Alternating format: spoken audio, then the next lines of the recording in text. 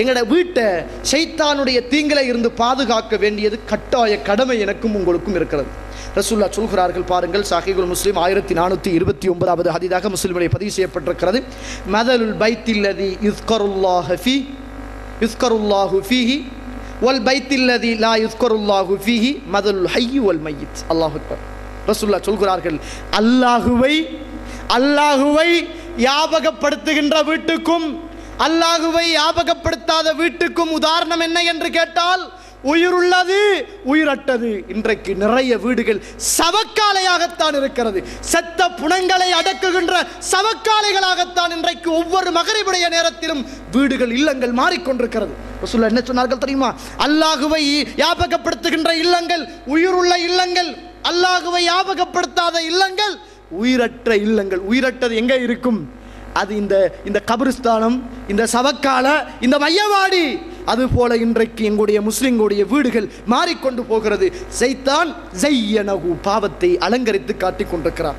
அருமைக்குரிய இஸ்லாமிய சகோதரர்களே ரசூலுல்லாஹி ஸல்லல்லாஹு அவர்கள் சொல்கிறார்கள் இஜ்அலு மின் சலாத்திக்கும் மின் சலாத்திக்கும் ஃபி புயூத்திக்கும்.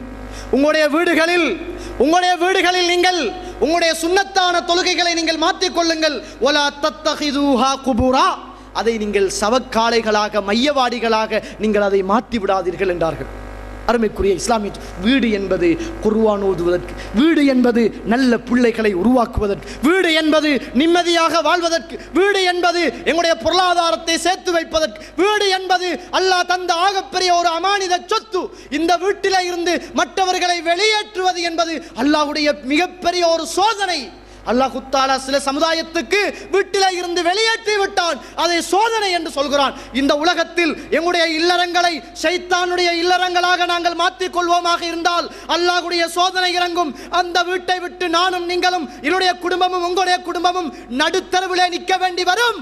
அது அல்லாஹ்வுடைய சோதனை என்பதை மறக்கக்கூடாது. அல்லாஹு தாலா இந்த உலகத்திலே சிலருக்கு சோதனை கொடுத்தான். என்ன சோதனை என்றால் அவர்களுடைய வீட்டில் இருந்து அவர்களை அல்லாஹு தாலா விரட்டி விட்டான் தோழர்களே. அது அல்லாஹுடைய சோதனை மறந்துவிடக்கூடாது. அப்படிப்பட்ட சோதனையை அழைத்து வருகின்ற இல்லங்களாக எங்களுடைய இல்லங்கள் இருக்கக்கூடாது. அல்லாஹுவை ஞாபகப்படுத்துகின்ற நல்ல உள்ளங்களையும் நல்ல இல்லங்களாக அந்த உள்ளங்களையும் இல்லங்களையும் நானும் நீங்களும் வைத்துக் கொள்ள வேண்டும். அருமைக்குரிய இஸ்லாமிய சோதரிகள் பாருங்கள் ரசூல்லா சொல்கிறார்கள் இக்ரா சூரத்துல் பக்கரா. நீங்கள் சூரத்துல் பக்கராவை ஓதுங்கள். நீங்கள் சூரத்துல் பக்கராவை ஓதுங்கள். ஏனென்றால் ஃபைன்ன ஷைத்தான் லா யதுகுலு பைத்தன் சூரத்துல் பக்கரா. எந்த வீடுகளில் சூரத்துல் பக்கரா ஓதப்படுகிறதோ அந்த வீட்டுக்கு ஷைத்தான் வரமாட்டான். ஷைத்தான் வரமாட்டான். அப்படிப்பட்ட சூரத்துல் பக்கராவை ஓதி எங்களுடைய வீடுகளுக்கு பூட்டு போடோடும் ஷைத்தான் வராத பூட்டு என்ன என்று கேட்டால் அது ஷைத்தான் வராமல் இருப்பதற்காக சூரத்துல் பக்கராவை ஓத வேண்டும் என்று ரசூலுல்லாஹி சல்லல்லா கொலைச்சோர்கள் சொல்லித் தருவதை நாங்கள் பார்க்கிறோம். ரசூல்லா சொல்கிறார்களே இரவா மா- மாலை ஆயினால் உங்களுடைய கதவுகளை நீங்கள் பிஸ்மில்லா சொல்லி பூட்டுங்கள். உங்களுடைய பிள்ளைகளை வெளியிலே விடாதீர்கள். உங்களுடைய பாத்திரங்களை மூடி வையுங்கள். எந்த கதவுகளும் எந்த எந்த பாத்திரங்களும் பிஸ்மில்லா சொல்லி மூடப்படுகிறதோ அந்த இடத்துக்கு ஷைத்தான் வரமாட்டான். இன்றைக்கு எல்லாரும் எல்லாரும் மாறிப்புல தான் கதவை திறக்கிறது. ஒரு காலத்தில் நல்லாத்த மாறுபடைய மாறிப்புடைய நேரம் ஜன்னலை கதவெல்லாம் மூடிடும். இன்றைக்கு கொஞ்சம் பேர் ஏன் மூடுறது தெரியுமா? நெலும்பு வராமல் இருக்கிறதுக்கு. நெலும்பு வராமல் இருக்கிறதுக்கு தான் கொஞ்சம் பேர் கதவை மூடுறாங்க. ஒரு சுண்ணச் கதவுகளை மூடுவது ஜன்னல்களை மூடுவது பிஸ்மில்லா சொல்லி அடைப்பது வீட்டுக்குள் செய்தான் வராமல் இருப்பதற்கான ஒரு சுண்ணா. நம்ம நிம்மதியாக தூங்குறதுக்கு நெலும்பு கடிக்காமல் இருக்கிறதுக்கு கதவை போடுறோம் அல்லாஹ் அக்பர். ஒரு சுண்ணத்து என்று மூடினா நெலும்பும் வராது சைத்தானும் வராது. அது சுண்ணத்தில் நெலும்புக்கு என்று மூடினா எல்லா ரூபத்திலையும் சைத்தான் வீட்டுக்குள் வந்து கொள்வான் என்பதை நானும் நீங்களும் மறந்துவிடக்கூடாது. அருமைக்குரிய இஸ்லாமிய சோதர்களே ரசூலுல்லாஹி ஸல்லல்லாஹு அலைஹி சொல்கிறார்கள் ஆயிரத்தி நா நூற்றி நாற்பத்தி ரெண்டாவது ஹதிதாக புகாரியிலே பதிவு செய்யப்பட்டிருக்கிறது. பாருங்கள் எங்களுடைய இல்லம் எந்த அளவுக்கு இருக்கிறது என்று. யாக்கிது ஷைத்தான் அலா காஃபிர அலா காஃபியத்தி ரஅசி அஹதிக்கும். உங்களிலே ஒருவர் தூங்குகிற போது ஷெய்தான் வந்து கொண்டு அவருடைய பிடரியிலே முடிச்சு போடுகிறான். மூன்று முடிச்சுகளை போடுகிறான்.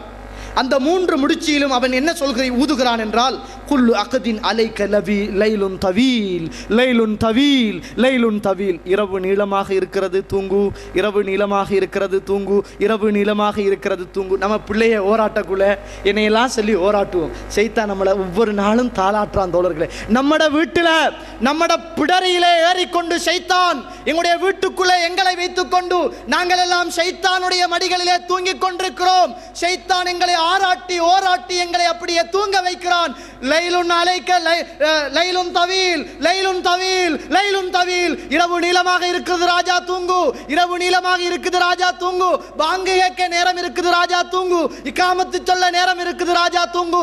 சூரியன் உதயமாக நேரம் இருக்குது ராஜா தூங்கு தூங்கு தூங்கு என்று சொல்லி எங்களை இன்றைக்கு இசைத்தான் அவன் ஆராட்டி ஓராட்டி எங்களை அப்படியே சுபகு தொழாமல் எங்களுடைய வீட்டிலேயே உறங்கச் செய்கிறான். இந்த ஹதீதை வைத்து இமாம்கள் சொல்லுகிறார்கள் ஒரு இடத்துல நாங்கள் அப்படியே தூங்கி சுபகு தொழாமல் இருந்துட்டோம் என்று சொன்னா அந்த இடத்துல நீங்கள் செய் தொழாதங்க அந்த இடத்துல செய்தான் வந்து போயிருக்கிறான். வேற இடத்துல நீங்கள் தொழுங்க. ஏண்டா ரசூல் அவர் தரம் தூங்கக்குள்ள சுபகுடைய நேரமெல்லாம் கழிச்சு ரசூல் ஆதரவாதரப்படுத்திட்டு எழுப்பினாங்க வாங்க இந்த இடத்துல இருக்காதீர்கள். செய்தான் வந்திருக்கிறான் என்று சொல்லி ரசூல் அந்த இடத்தை விட்டு விட்டு வேறு ஒரு இடத்திலே போய் இருந்தார்கள் என்பதை நாங்கள் பார்க்கிறோம். நம்மட வீட்டுக்குள்ளே சைத்தான் வந்தா எங்கே போகிறது வீட்டை விட்டு தான் போறது.